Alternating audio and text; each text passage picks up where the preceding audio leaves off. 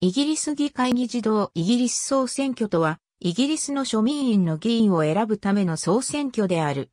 古くから議会制民主主義を採用している先進国の総選挙として、イギリスの政治的影響力として注目されている。普通選挙は男子には1918年から女子には1928年から認められている。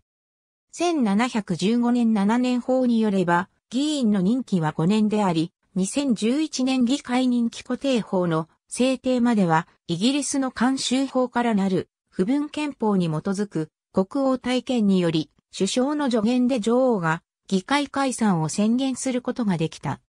2011年議会任期固定法制定以前における近年において解散の実質的な決定権は首相にあり、戦後は任期4年程度を目安に選挙が行われることが多かった。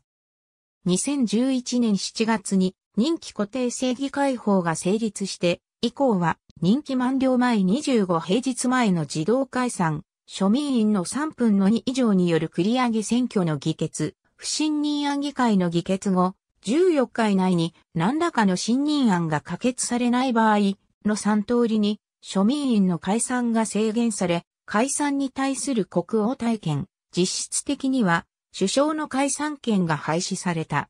なお、2019年には特例法を制定することで、議会任期固定法の制限にとらわれず解散を行った。総選挙実施の公示も女王の名で行われる。イギリスの選挙制度は単純小選挙区制である。